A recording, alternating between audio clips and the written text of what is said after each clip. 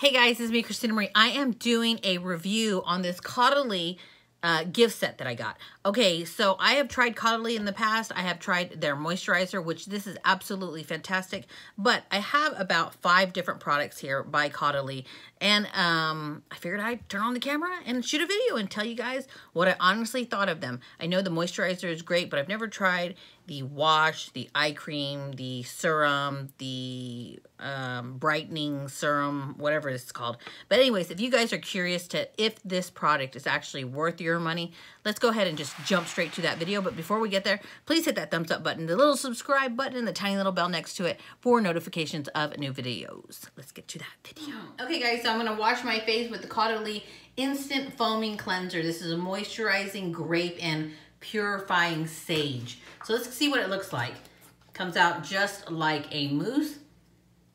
And it smells it smells good. You would think it smells like grapes, but it doesn't at all. It just smells like a cleanser. So I'm gonna go ahead and just wet my hands a little bit. I am like so extremely oily today. So let's see how it cleans. So this is actually lovely, actually.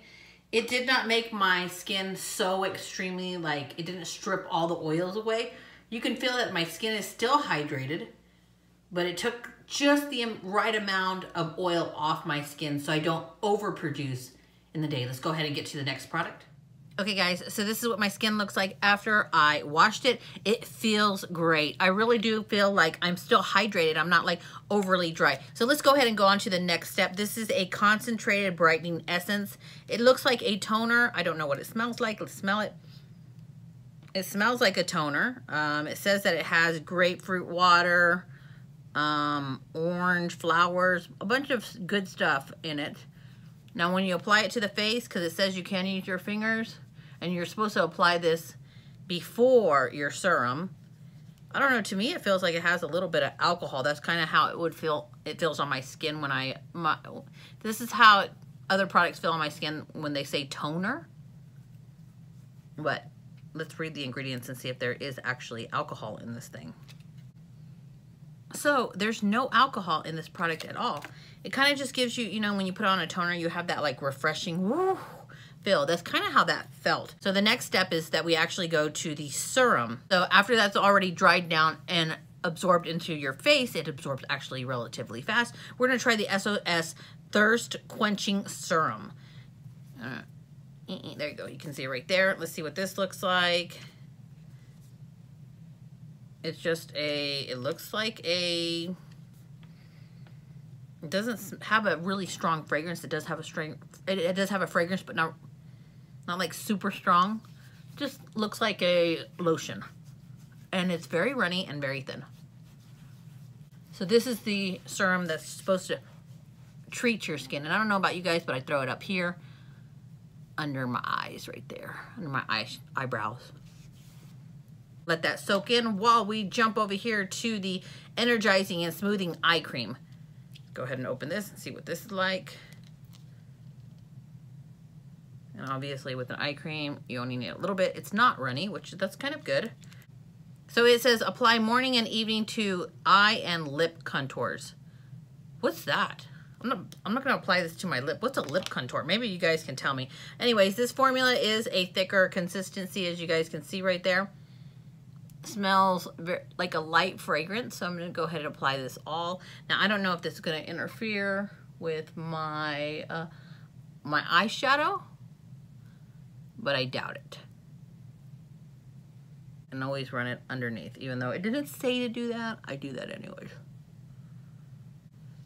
So the skin feels already with the products that I put on, it already feels like it's moisturized. At least my skin feels like it's already moisturized. It wasn't dehydrated after I washed it. So I'm gonna go ahead and apply now the final step and that is their moisturizer. Thick.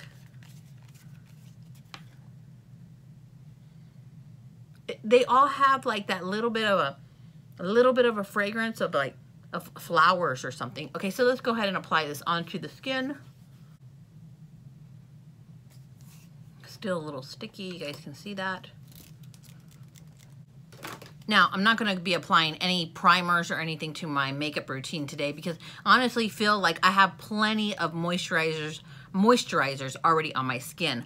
But I'm going to tell you right now, so this is the first time me using a few of these products, but this, this moisturizer right here, is typically what I have in my makeup drawer because this bad boy alone, by itself, the moisturizer absorbs like extremely well into the skin.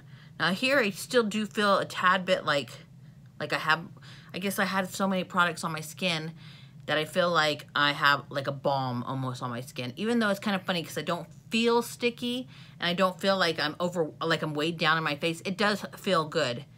But I think that when you use the moisturizer alone, it really, really penetrates into your skin. Now, I personally will be using these other products, but I'm probably going to be using them at night because I want to give my skin that extra hydration so I don't get wrinkles.